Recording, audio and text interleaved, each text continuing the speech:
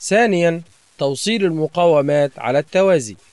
في هذه الحالة يتم توصيل أطراف المقاومات مع بعضها البعض ويوصل الطرفين النهائيين للمقاومات بمصدر التيار الكهربي.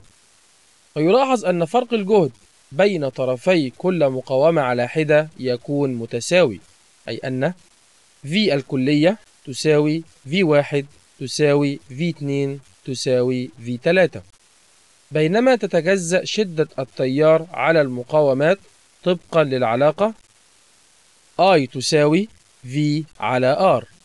ونظرا لثبات فرق الجهد فإن شدة التيار تتناسب عكسيا مع قيمة المقاومة.